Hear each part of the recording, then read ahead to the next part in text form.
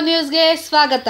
ಇಂಡಿ ತಾಲೂಕಿನ ಸುತ್ತಮುತ್ತಲಿನ ಗ್ರಾಮಗಳಲ್ಲಿ ಈ ಬಾರಿಯೂ ಕಾರ್ಯಹುಣ್ಣಿಮೆ ಸಂಭ್ರಮ, ಕೃಷಿಕರ ಸಂತೋಷವನ್ನು ಇಮ್ಮಡಿಗೊಳಿಸುತ್ತದೆ. ಕಾರ್ಯಹುಣ್ಣಿಮೆ ಸಂಭ್ರಮ ತಾತ ಮುತ್ತಾತರ ಕಾಲದಿಂದಲೂ ಆಚರಣೆ ಮಾಡಿಕೊಂಡು ಬರುತ್ತಿದ್ದರು.